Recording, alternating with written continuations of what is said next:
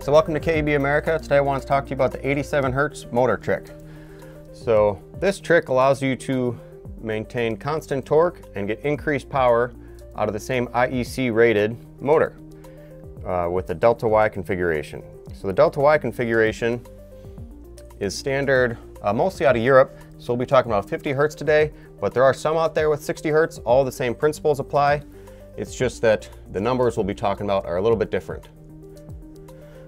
So the Delta Y allows for two different motor voltage inputs. You have your 230 volts, oops, or 400 volts. So with the Delta configuration, you have your L1, L2, and L3 coming in, and you would jumper across here, here, and here. And so that's your Delta uh, motor configuration for a 230 volts input. Same thing on the Y, you have L1, L2, and L3, except this time we jumper across here, and we jumper across here, and so this would be your Y configuration for a 400 volts. And again, these are for 50 Hertz that we'll be talking about, but some of them, uh, there are some 60 Hertz models out there. So now that we've talked about voltage and frequency, we'll see what that effect actually has.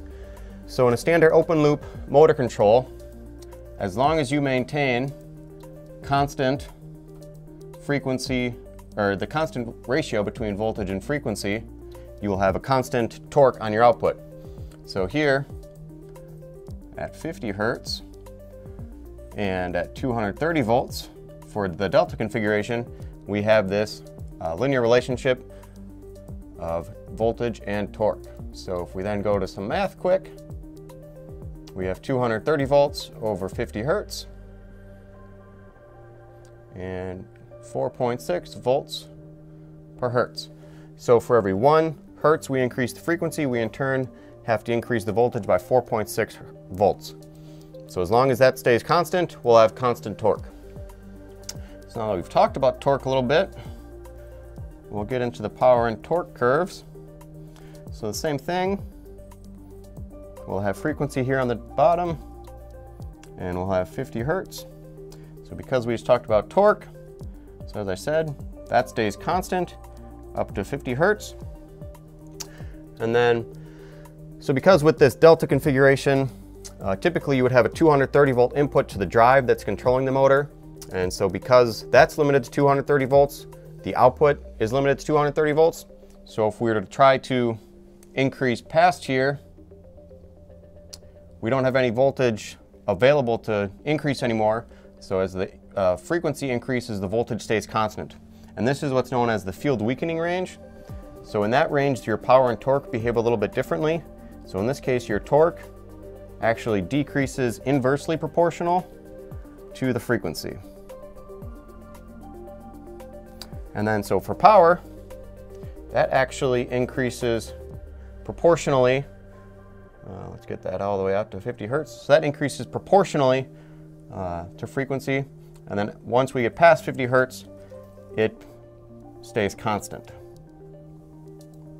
So and that's your power. Um, so that's your kind of standard operation. Now we'll talk about the 87 hertz trick. So what that does is rather than wire it for your 230 volt delta configuration, you would wire it for the 400 volt Y configuration. And so the one thing to keep in mind for that is you would in turn have to have a 400 volt drive in front of it that would allow for a 400 volt input to the drive. So if we were to imagine then, if we increase this straight out, out to 87 hertz, and in turn we go up to 400 volts. If we come down here and do the math again quick, we have 400 volts over 87 hertz. And so that is the same 4.6 volts per hertz. So because we're maintaining this ratio constantly from 50 to 87 hertz, we still maintain our constant torque out to 87 hertz. We'll say 87 here. And then so the same thing with the power. That also stays constantly increasing and so then, as we go from 50 to 87 hertz, we gain all this extra power, and then the torque maintains constant. And then once we were to hit 87 hertz, then it would uh, do the same behavior as previously. So as you can see, uh, we get this extra power and the torque maintains a constant from 50 to 87 hertz um, in the same IEC rated motor, and that's the 87 hertz motor trick.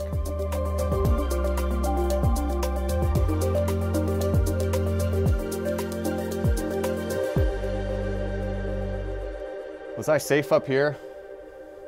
It got close. At the very top. Yeah.